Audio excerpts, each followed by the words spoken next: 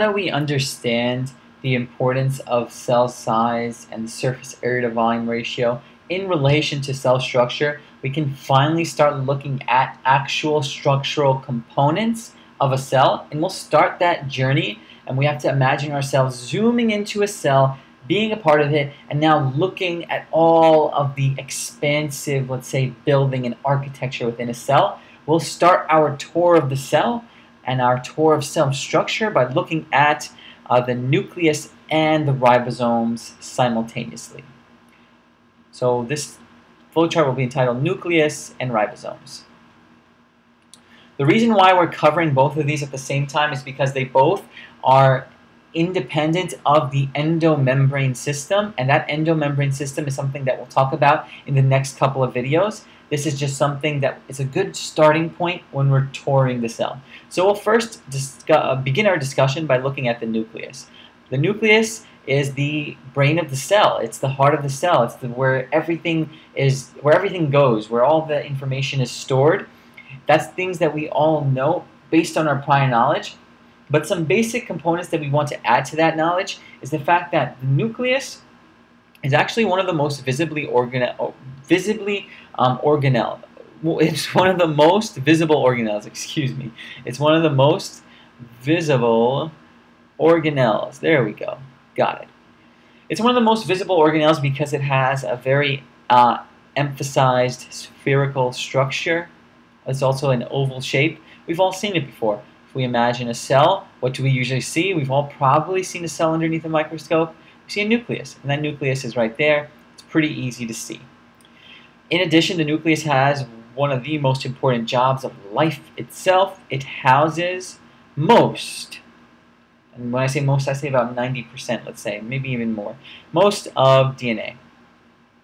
If you remember in our discussion of origin of life, the rest of that DNA is either found, let's say, free floating, actually not free floating, but the rest of the DNA is actually found probably in the mitochondria. Because remember, the mitochondria used to be its own thing.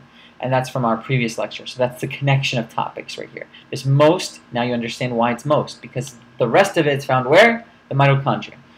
So, because the nucleus is a part of our cell structure, it actually has what is known as an envelope.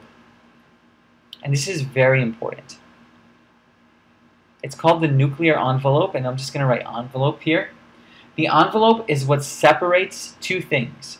Just like we had a plasma membrane separating the external from the internal environment, now we have an envelope at the nucleus, so we can imagine, let's say, another circle right here that separates, write this down, separates what is known as the nucleoplasm. What does that sound similar to? Cytoplasm, right? Separates nucleoplasm from cytoplasm. Why would you want this? Basically, to sum it all up, the nucleus houses this DNA. This is the gold mine of all cells. Cells need to keep this safe. It makes sense then to have another membrane covering this environment, this nucleoplasm environment, from the cytoplasmic environment just in case, let's say, a foreign invader comes in. This is an environment that's very, very safe and very, very protected because of this envelope. In addition, this envelope has a double membrane. This double membrane promotes an increased level of, let's say, security, an increased level of structure. It's something you should definitely know. Because of this double membrane uh, enveloped structure, we now have this membrane of the nucleus fusing at intervals, actually. It fuses at intervals. Membrane fuses at certain intervals. I highly suggest looking at a figure because my drawings will not do this justice, but overall, the fusing at intervals creates nuclear pores. And these nuclear pores also promote or allow protein complexes to sort of dock on at these intervals. What's the point of all of this? What's the point of these intervals? This actually is what is going to be the gatekeepers, let's say. This is what allows material, uh, allows materials, uh, allows material, let me rewrite that, allows material passage um, to be regulated, very highly regulated. Because once again, what did I tell you? The nucleus is the gold mine. It holds the DNA, the blueprint of the cell. So it makes sense to make sure it's protected and make sure that when you're sending something out or letting something come in, there's these gatekeepers, these pores and protein complexes that tell the nucleus, all right, you know what, I'm going to let this in or I'm not going to let this in. I'm going to let this out or not let this out.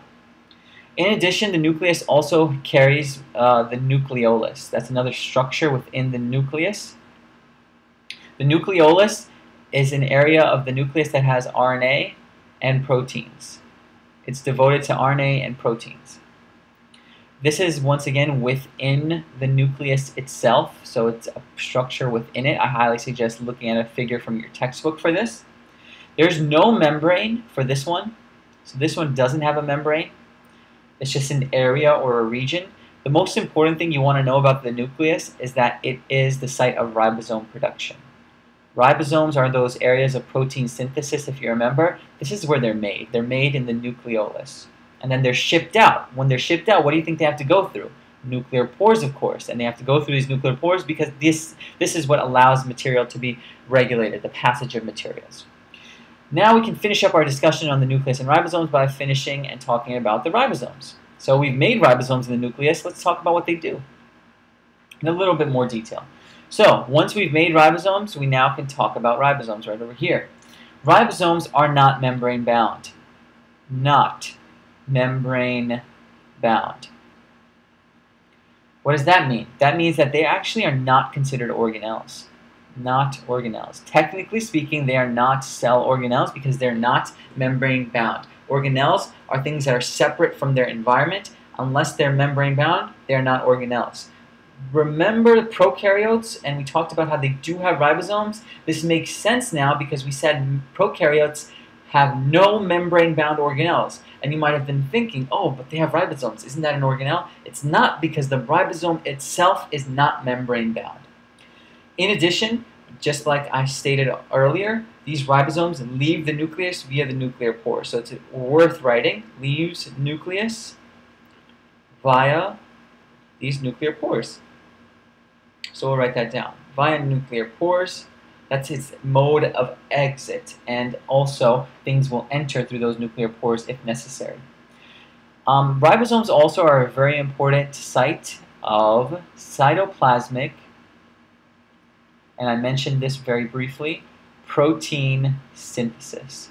This is where we make proteins. Why are proteins made? Proteins are made because proteins do a variety of functions that promote cell life, that help the cell to live.